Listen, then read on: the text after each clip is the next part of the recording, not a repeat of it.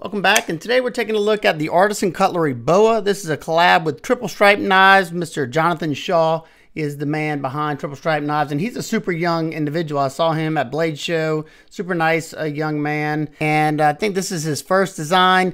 The BOA is a Kickstarter campaign that will end in eight days as of 10 9 23. And if you're wondering why would you want to join that, because you get 30% off of the the regular release price and the regular boas, like this one, this is called the rustic boa with the green canvas micarta inlays. You can also get it with a full tie handle with stippled titanium. You could also get it with murdered out, all blacked out called the Tacti boa with a carbon fiber inlay. And then you have a full dressed boa with a mirror polish blade and mirror polish scales coming in at $6.99. Or you can get one with the dressed out handle that is on both sides, as you can see, along with the pocket clip and the back spacer. You can get one with this handle and the sand polish blade like on the regular ones for $5.69 if that's something you want to go for in a dress knife. We'll have all necessary links down in the description. So what we have here is a medium-sized EDC knife at 7.25 inches overall length with a 3.11 inch harpoon drop point blade that should be very versatile because that tip sits in line with the center of the pivot. So just meaning that your belly is not going to be too crazy swoopy up here and should be good at just about any type of cutting you do. Got a nice top swedge up here that doesn't go all the way down to that tip, so you still have a nice and robust tip. If you need to do any kind of like bear, like boring it in there or whatever you do with your tips. There is no jimping up top. However, this little poonage area right here is an excellent spot to rest the thumb to get a nice locked in grip, or you can always overshoot it if you had bigger hands. You do have a sharpening choil, however, it just barely clears that plunge line. You may have one to two sharpenings before it starts to widen up back here. Uh, however, if you needed to widen that up, you can because this has an internal stop pin. The finish on these blades is called their sand wash. It's like a um, kind of like a high satin finish or like a foggy satin finish where it's very reflective. Takes fingerprints pretty darn well. Uh, I would have I would have preferred a stone wash finish, but I still think it looks beautiful. The blade steel on these regular versions is CPM S35VN, and on the dress versions it's S90V really wish they would have went with a deep hollow grind on here, a thin hollow grind, just so it could thin it out a little bit more because you have a very short grind height and this is a flat grind. So it's only coming down to 24 thousandths behind the edge, which is not terrible, especially if you keep it nice and sharp, but I would have much preferred a thinner grind. So I think it's time to see how this thing performs.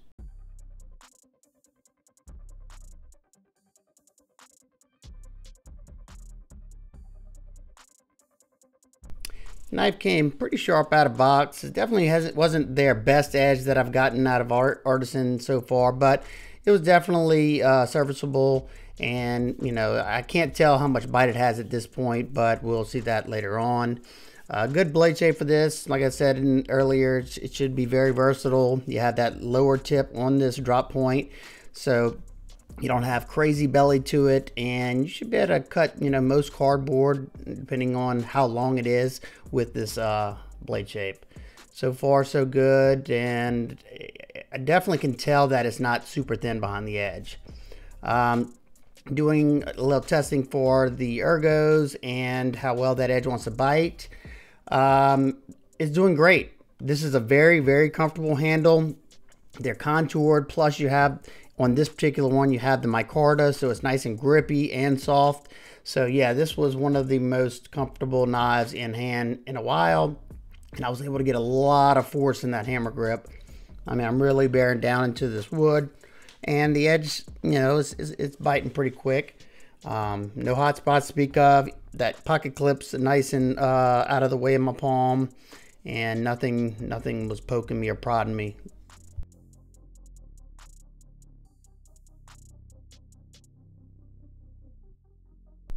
Your tip's low enough to do drag cuts like this if you want to drag it through there or you could just use the belly however you're still going to have a perfect amount of belly to do pretty much any type of cutting task and a pinch grip on a flat cutting surface it's passing through the material pretty good. Not the best because this has a very short height flat grind, so I can definitely feel that extra thickness.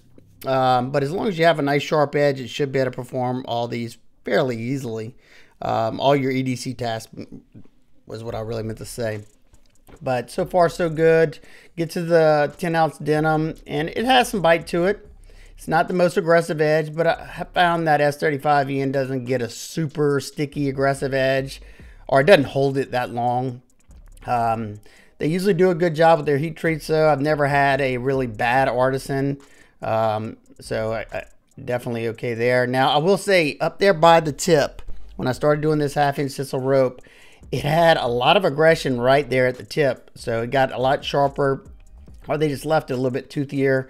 Uh, which is usually just the opposite. Usually the tip is where they start to round it over or uh, it's not as sharp as the rest, but nice and uh, sharp at that tip.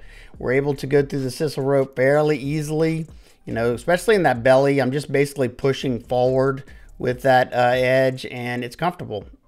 Once again, that micarta is gripping onto my gloves and uh, doesn't feel uncomfortable in the least, which is not something I can say for a lot of knives when I'm doing this portion of testing. This is definitely a miserable portion of the test, but I do it for you guys and girls. So um, we end up getting through uh, 60 cuts. I'm just struggling because this is my, the last of my sisal rope. I got to go out and buy some more. But this is the last of it right here. So I got one more little piece like this that I'm going to grab in just a second. And it, this is it. We get through 60 and then that's my absolute last piece before I have to go get some more. That's definitely doable there. Um, edge still feels okay. I definitely have a working edge left on it. And uh, yeah, I, I enjoy doing the testing with this one.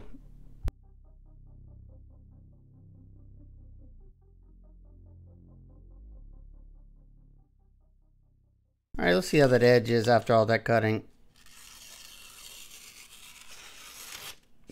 Pretty impressive. I, I didn't think it'd be that great. No hang-ups. I call that good. Now let's take a look at the deployment and the action of the knife. It's riding on ceramic ball bearings with a ceramic detent ball, so it's nice and smooth. You have three different means of deployment with the blade hole, thumb stud, and front flipper, and they all work outstanding. This one has a very well-tuned detent, so you can reverse flick with that blade hole. You can thumb flick with the thumb studs and you can easily roll that front flipper around. I love whenever, you know, if I have to have a front flipper, I love that design where it curves up. It has jimping. I would have preferred some fine cut jimping, just it grabs the thumb better. Uh, but this one is still nice and grippy. I have no problem slipping off. You can do the reach around easily. And if I want to slow roll it, I can. Just a very well-tuned detent. You don't find them uh, done like that all that often. Usually they got it either too strong for the front flipper or, you know, too weak for the front flipper. But these two work as it's, it's really nice when you see all of them work great. Let's take a look at these handles. You have contour titanium scales with a green canvas micarta inlay that offers a good bit of traction. It's nice and soft. It's a good micarta. You have Torx T8 throughout. Excellent job. Love seeing that. You don't have any gaps in, in the, at least the one I have. There's no crazy gaps or anything that I can see. Very well done. You have a mill titanium pocket clip that offers good retention. It goes in and out of the pocket nicely. You do have a little bit of a ramp right here. I had no problems with it going in and out of the pocket. It held it fine and it wasn't tearing up the pocket because it's sitting on top of this micarta on this particular one. Now, I will say on the full dress one, um, it, being that the the the Timascus full mirror, mirror polished, it is a little bit slicker going in and out of the pocket. So just be aware of that. If you got thin pants on or something like that and you buy that knife, be very careful because it could easily come out of the pocket. Now it's only tip up right hand carry only. I don't know if they have lefty versions or not. If I remember and see that on the Kickstarter, I'll put it up here. But if you're a lefty, just go check out the Kickstarter campaign that I have linked down below. You have a mill titanium backspacer with artisan on it, a hidden lanyard post back here. Love that they didn't put an extra hole in the knife. You don't have any internal milling because you have all this milled out for the inlays on both sides. Lockup on my knife is about 40 to 50%. Access to the lock bar is, is, decent. It's in line with the uh, show side scale, but the little chamfer's right there. I can get my finger in there pretty easily. Uh, if you had fat sausage fingers, it may be a little bit difficult for you. My particular knife has no up and down, no left and right, solid lockup. You do have a hardened stainless steel lock bar insert in there. The weight of the micarta one first in grams, 87.5, and the full dress comes in at 100 grams. And the micarta comes in at 3.09 ounces, and the full dress comes in at 3.5 ounces. I've carried both this one and the dress a good bit, and I had no issues with the carry weight. I thought they were great, especially on this one, and even with the full dress. I, I didn't realize I even had the knife in my pocket.